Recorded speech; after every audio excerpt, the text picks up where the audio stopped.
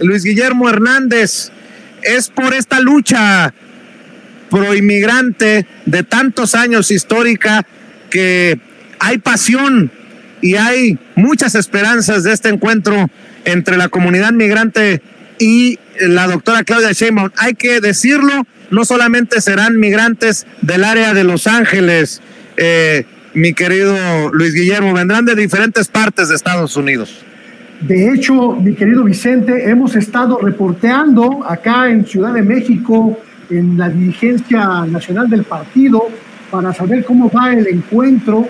Y se espera que lleguen contingentes militantes de Morena de por lo menos 14 ciudades de Estados Unidos, donde hay presencia del de, movimiento de, de, transformación y sobre todo donde hay mucha eh, eh, inquietud, mucho entusiasmo por esta visita.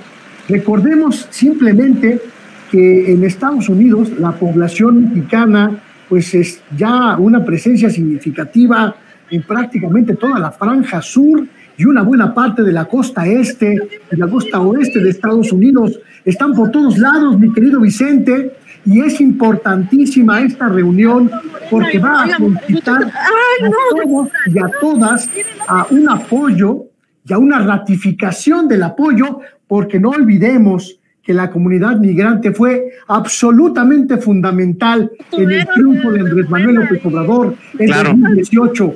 Se repetirá la historia, mi querido Vicente. Así es, y déjame saludar a esta señora.